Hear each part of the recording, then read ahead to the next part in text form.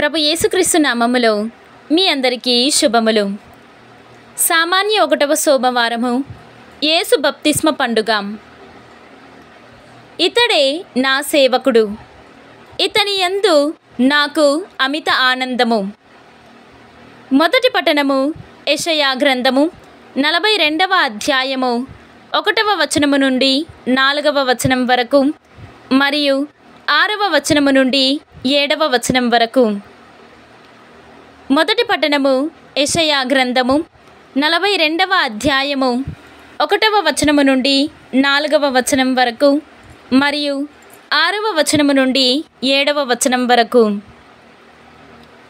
సర్వేశ్వరుడు ఇట్లు పలుకుచున్నాడు. ఇదిగో నా సేవకుడు నేను ఇతనిని బలాఢ్యుని చేసి తిని ఇతనిని ఎన్నుకొంటిని.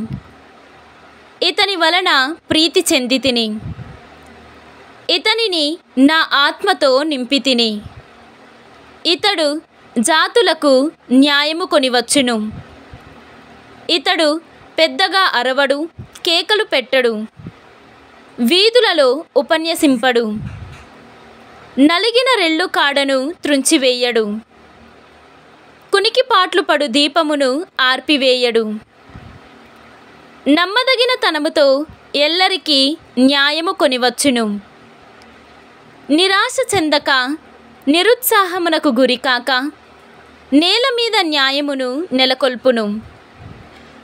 ద్వీపములు ఇతని బోధ కొరకు ఎదురుచూచును ప్రభుడనైన నేను నిన్ను పిలచి తిని నీకు బలము నొసగి తిని రూపమునిచ్చి తిని నీవు న్యాయమును నెలకొల్పవలెను. నేను నిన్ను ప్రజలకు నిబంధనముగాను జాతులకు జ్యోతిగాను నియమించి తిని నీవు గ్రుడ్డివారి కన్నులు తెరతువు. బందీలను చెర నుండి వెలుపలికి కొనివత్తువు. చీకటిలో ఉన్న వారిని కారాగారము నుండి విడిపింతువు. ఇది ప్రభువాక్కు సర్వేశ్వరునికి వందనములు. భక్తి కీర్తన. ప్రభువు తన ప్రజలను శాంతి సమాధానములతో దీవించును.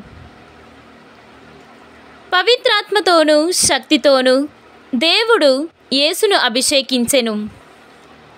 రెండవ పట్టణము అపోస్తుల కార్యములు పదవ అధ్యాయము ముప్పై నాలుగవ వచనము నుండి ముప్పై ఎనిమిదవ వచనం వరకు.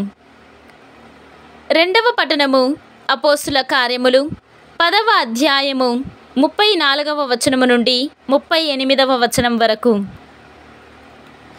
ఆ దినములలో కొర్నేలి మరియు అతని ఇంటి వద్ద కూడిన ప్రజలతో పేతురు ఇట్లు ప్రసంగింప ఆరంభించెను.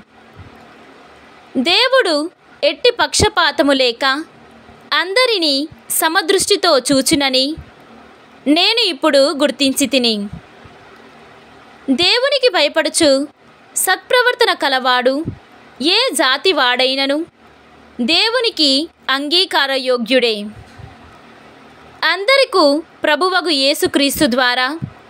దేవుడు ఇజ్రాయేలు ప్రజలకు శాంతి సువార్తను ప్రకటించుట మీరు ఎరిగినదే కదా? యోహాను బోధించిన బప్తిస్మనంతరము గలలియలో ప్రారంభమై ఆ సందేశము యూదయ అంతటను వ్యాపించిన మహత్తర సంఘటన మీ అందరకు తెలిసినదే. పవిత్రాత్మతోనూ శక్తితోనూ దేవుడు నజరేయుడగు యేసును ఎట్లు అభిషేకించినదియు మీకు తెలియను. ఆయన అంతటను పర్యటించుచు మేలు చేయుచు పిశాస శక్తికి లోబడిన వారందరినీ బాగు చేసెను ఏలయన దేవుడు ఆయనతో ఉండెను. ఇది ప్రభువాక్కు సర్వేశ్వరునికి వందనములు. ఈనాటి సువిశేషము పునీత మార్కు గారు వ్రాసిన సువిశేషము ఒకటవ అధ్యాయము ఏడవ వచనము నుండి పదకొండవ వచనము వరకు. నాకంటే శక్తిమంతుడొకడు నా వెనుక రానున్నాడు. నేను వంగి ఆయన పాదరక్షల వారును విప్పుటకైనను యోగ్యుడును కాను.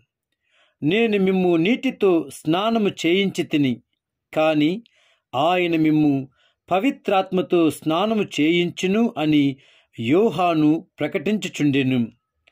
అంతటా గలిలియా సీమలోని నజరేత్తు నుండి యేసు వచ్చి యోర్ధాను నదిలో యోహాను చేత బాప్తిస్మము పొందెను. ఆయన నీటి నుండి వెలుపలికి వచ్చిన వెంటనే పరమండలము తెరవబడుటయు పవిత్రాత్మ పావురము రూపమున తనపై దిగి వచ్చుటయు చూచెను. అప్పుడు పరలోకము నుండి ఒక వాణి నీవు నా ప్రియమైన కుమారుడవు నిన్ను గూర్చి నేను ఆనందించుచున్నాను అని వినిపించెను. ఇది క్రీస్తు సువిశేషము. క్రీస్తువా మీకు స్థుతి కలుగునుగాక.